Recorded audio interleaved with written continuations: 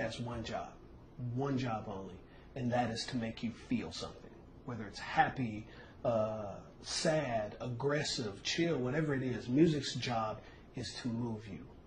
Their music moves you. Period. Their music moves you. And I think everybody should should be able to get a taste of that.